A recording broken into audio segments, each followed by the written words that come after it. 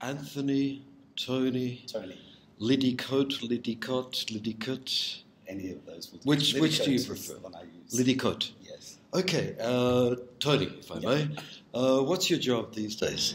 Uh, I'm professor of applied linguistics at the University of Warwick, which means that I teach linguistics and education topics to uh, undergraduate and graduate students. Uh, many of my students are studying languages Mhm. at the university, and I teach the applied linguistics that goes together Okay. with language studies. I work with people who are qualified teachers of English who are developing further qualifications. So it's really applied linguistics in a very broad Yeah. sense. Applied linguistics in terms of language education, Yeah. intercultural communication, and a range of other topics. Although you're known as an intercultural communication person, is that? I think Bad? I'm known as a, an inter, uh, a language education person. Okay, and good. My work has been to try and wake language teachers up to the fact that they're producing people who are going to communicate interculturally. Right.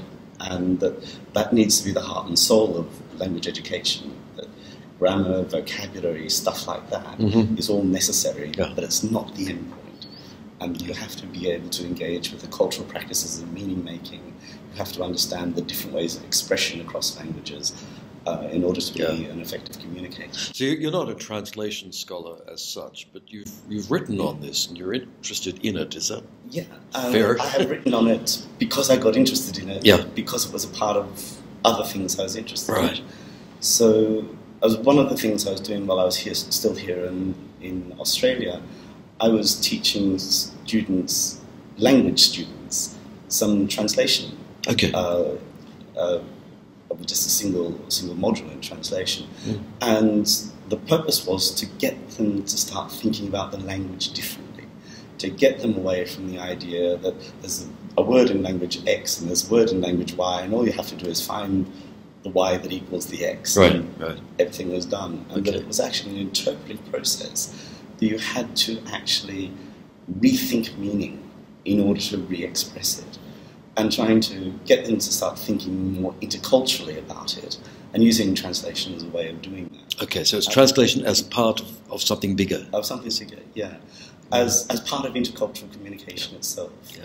that uh, the, the translation is yet another way into the intercultural. Good. And because it's written, you've got these nice static texts that allow you time for reflection, and you can go away and spend a week worrying about this word, and then come back and do something. You can't do that in spoken communication. So the the text uh, gives something that you can do extended reflection on. It also has a context that it carries around with it, and trying to get uh, students just to think about for example, you're having trouble with this expression, but don't think of this expression as this group of words. Think of it as part of a meaning in a much larger text. And what's actually going on in this text? How are other things in this text relevant to the meaning at this point in the text? What does it actually mean in English? Yeah.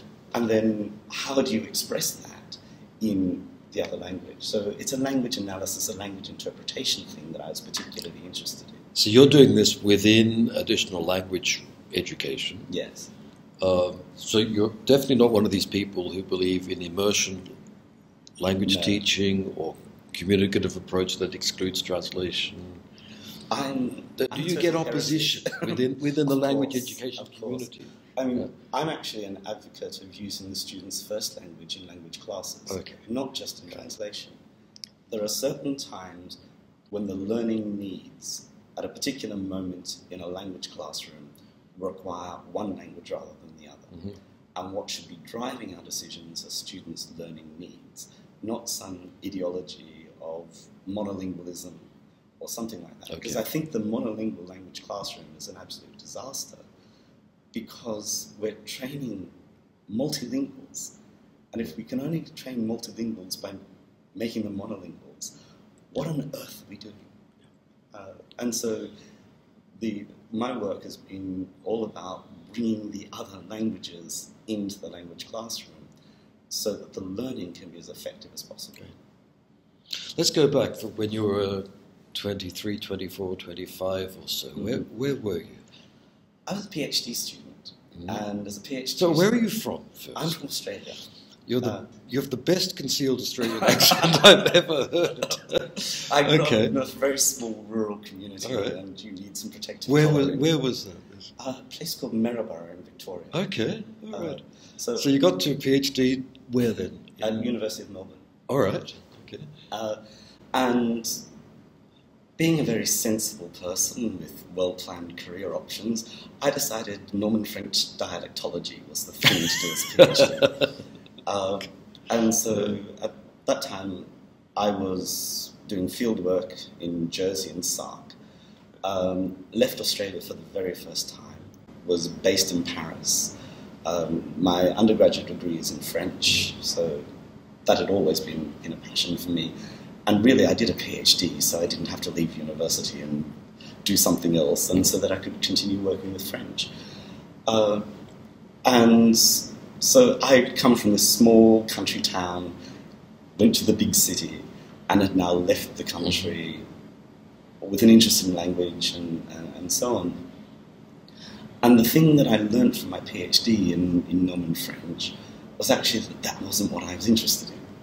And that what I was interested in was actually the ways that language is peopled. Because, I mean, I did sort of traditional linguistics. I was great at syntax, historical phonetics. I love these things. I, to this day, I love these things. But I was working with um, a community whose language was dying. And you can't just think about vocabulary and syntax in that sort of situation. You start to think about people as language users. And that sort of became the impetus for everything that I've done ever since. I want to see the people in the language. And for me, and because of the lived experiences I've had, the people in the language is the intercultural.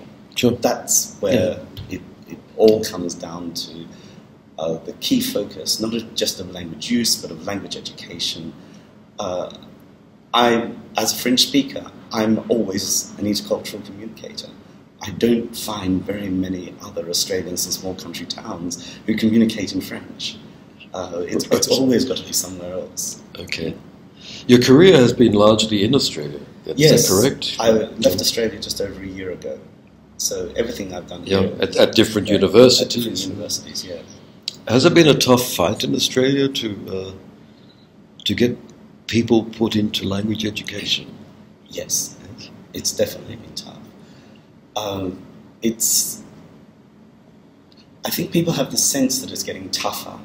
I'm not sure it has. Um, there have been waves. Sometimes it gets a bit easier, sometimes it contracts. I don't think here in Australia multilingualism is valued. Mm. And I don't think it's valued by governments. I don't think it's valued by university administrators, senior management. Uh, the people who are making the decisions are very often monolingual individuals who've reached positions of power as monolingual Mm. individuals and can't see that they missed out on anything because they weren't multilingual. And in a sense, it's really hard to argue with some vice chancellor to say, yes, but if you spoke another language, you'd be successful. um, and I- so I- they, they don't i- see is it better in the United Kingdom? No, Okay, really so it's so. the same the same struggle, it's the same struggle. basically, because of being an English-speaking country. Uh, That's what I think it is. Yeah. I mean, I've not been there very long. It's, Yeah, this is a hasty judgment. But I had expected the proximity to Europe to have influenced thinking a bit Mm. more than it has. Um, I mean, it's an odd time to be talking about proximity. To No, it doesn't matter, does it? Brexit on the Brexit, horizon yes. and all of those sorts Yeah. of things. But you can sort of see Brexit as symptom- symptomatic Yes. of this sort of general rejection of the other. And I mean, in Australia, I thought it was geographical isolation Mm. because, okay, Australia's a big country, you have to travel a long way in an aeroplane before you even get out of it. Uh, you go to Asia where English is quite widespread. Yeah. Uh, it's a very different context from Europe. Yeah. So I was thinking, the UK, very close, very much more integrated, and so on, that it would be different. You just gave a really good plenary pointing out the class divisions in language learning. Mm. That, that the higher you are in the class scale, the more languages you're going to get at, at, at Yeah. university. And you say that's similar in Australia. I think So, it is. It's this is a real. Yeah, we can say the same thing about translation. Uh, that, that Mm. you know we're catering to a certain social class that has these languages. Yes, and I find it. I find it really worrying that language learning has become differentiated by class. That the educated middle class are going to have more opportunities than other people. Mm. People who are attracted to academic education are going to have more opportunities than people who are attracted to professional education. And Hasn't it always been like that? well, yeah, though? it has. But what worries me is that the discourses we've got are not about that. Oh, right, We have yes, all of these yes. utilitarian discourses. Yes, of language yes, yes. That sort of says you need language for your job and you need language for mobility and all of those sorts of things. Fine. But if language for your job and language for mobility is for the educated middle classes, what on earth is happening to all of those people who are expecting to have these successful professional experiences mm.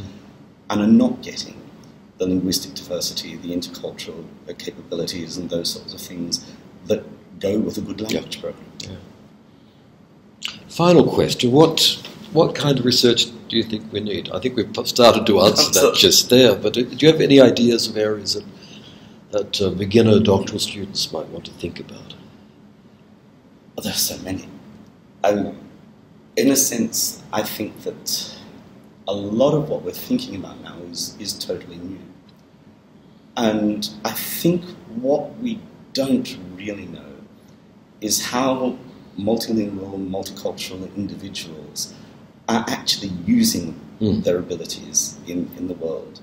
Um, and that can be anything. It can be in workplaces, it can be in, in life choices, it can be in uh, things like trans- the workers' translators. Mhm.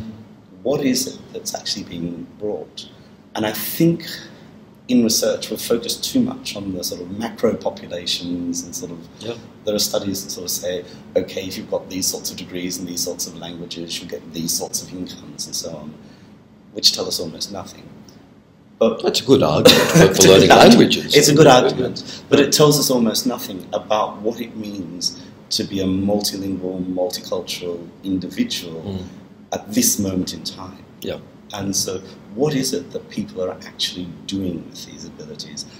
Uh, what is it that in their particular lives are being is being brought by their multilingualism, their multiculturalism, and so on? Do you think that that kind of approach can be applied to translation, or is translation too narrow a, a field? Oh, no, I think that would be um, really, really useful. I mean, one of the things that I think is interesting when I read translation studies is that there's a lot of focus on the translator and the text. There's not so much focus on the translator as a human being Mhm. and as an interculturally capable person. And I think it would be really interesting to know what the interculturally capable translator actually does in their lived experience that resources them Mhm. to do this sort of translation. And it can't be inferred from the text. Uh, one of the things that got me interested in, in, in uh, translation was the active interpretation, the, the idea that each individual is going to read the text in a particular way and not realize what it is that they bring to the text that gives them this interpretation as if their reading was somehow perfectly natural. And so, in language education, one of the things we've been talking a lot about is what do you bring to the interaction that creates the intercultural moment? Mm. I think same, Same thing in translation. translators. What do you bring to this translation that makes you the person to translate it this way? Tony Liddicoat, thank you very much. Thank you.